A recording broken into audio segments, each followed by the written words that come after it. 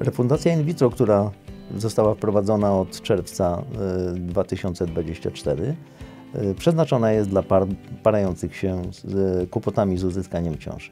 Pacjenci po pierwsze muszą się zgłosić do kliniki, która wykonuje procedury in vitro, muszą się zarejestrować, przechodzą odpowiednie badania, są kwalifikowani do programu, po czym wykonywany jest program in vitro zgodnie z aktualną wiedzą medyczną i potrzebami danej pary.